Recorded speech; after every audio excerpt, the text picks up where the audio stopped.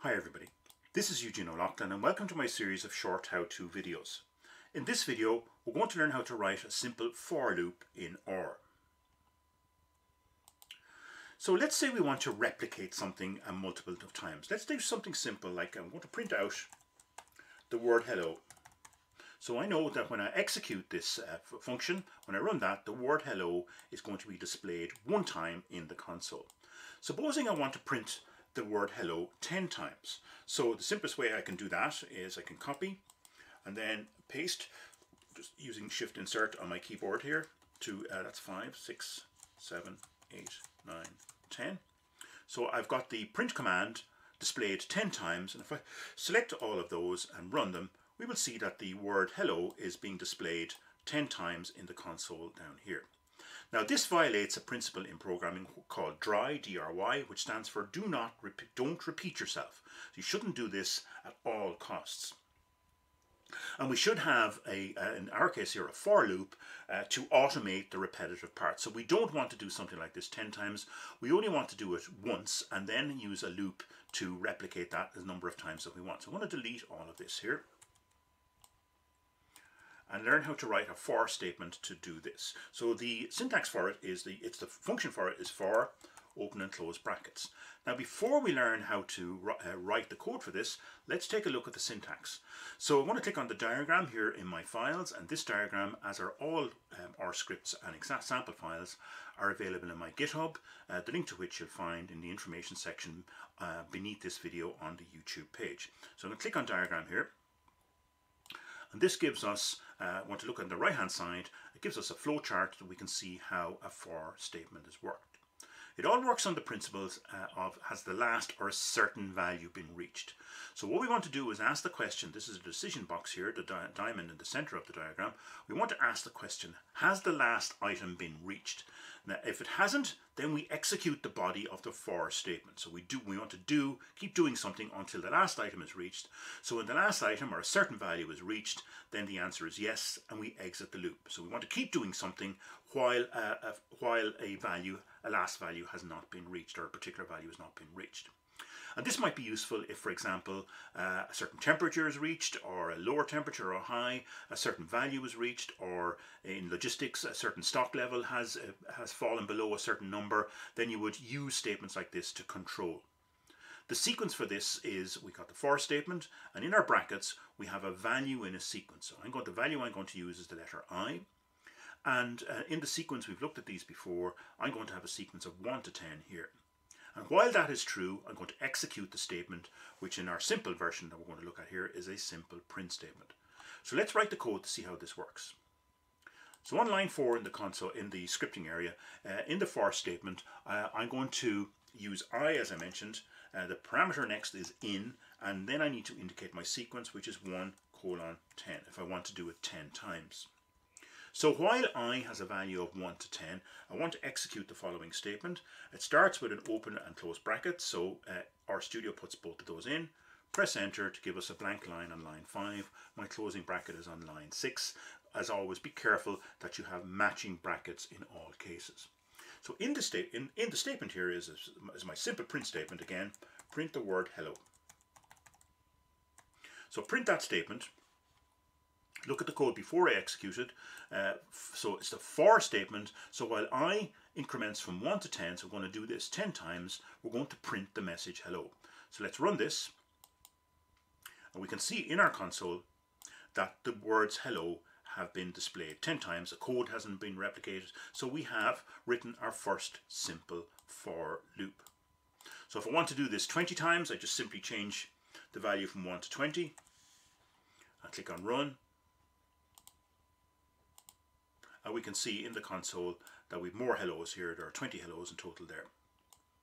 So whatever, so experiment with values there to print, do something simple like printing out a word or a message multiple times. You can see we've only typed out the code to print the print statement one times, but we've used a for loop to iterate that 20 times in this case. Now supposing we want to perform a simple calculation, um, and this will also show us another important concept uh, of, of, initializing variables in R. Supposing I want to do a simple calculation, and what I want to do is take a variable called x, so let's assign x, initialize it with a value of 0. So what I want to do is I want to increment this and add 1 to x 10 times. So I'm going to use my for statement again, for, open and close brackets. I'm going to use i again in 1 to 10. I'm going to do this 10 times, so this is similar to what I uh, printing hello 10 times. And an open and close bracket. And press enter and what that does then it gives me a blank line in between the brackets. Again always be careful that you've got matching brackets for everything here. So in this uh, statement here uh, what I want to do is I want to take my value of x and assign it a value of x plus 1 so in other words uh, at the first iteration of my for loop uh, x comes into the loop with a value of 0, so I want to add 0 plus 1 so that x has a value of 1 after the first iteration. The second iteration, uh, x comes into that with a value of 1, we will add 1 to that, and x will now have a value of 2, and so on until we get to the 10th iteration uh, when x will have a value of 10. To show this working, I want to use a simple print statement to show the value of x. So let's initialize x first of all. So run that we can see in our global environment, and this is very useful to keep an eye on this when you're writing loops, we can see x has a value of 0. So now let me run the for statement. Again, a reminder, I'm going to do this, run this statement 10 times. Uh, the first thing I'm going to do is add 1 to x, and then I'm going to print that value of x. And I'm going to keep doing that until i reaches a value of 10. So let's run this piece of code. And we can see in our console indeed that we uh, x comes into the loop with a value of 0. The first iteration we get uh, 0 plus 1 gives us 1 and so on until we get up to a value of 10 and at the end of the loop in the uh, global environment area you can see x has a value of 10. Now this is why you have to be careful with this. If I run this again, so I'm just going to run the for loop again, you can see um, something strange has happened. Uh, instead of going from 1 to 10, it's going from 11 to 20 over in the global environment, you can see x now has a value of 20. So why is that happening? Well, we didn't reinitialize the value of x to 0. Therefore, at the end of this loop, x had a value of 10. And when we ran the loop again, uh, we uh, added 1 to 10 uh, and so on up until we got values of 20.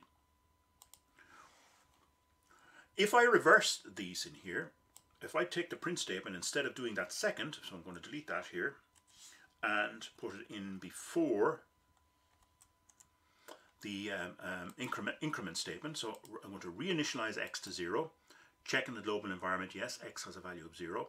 And this time, instead of incrementing x first and then printing out the value, I'm printing out the value of x and then incrementing it.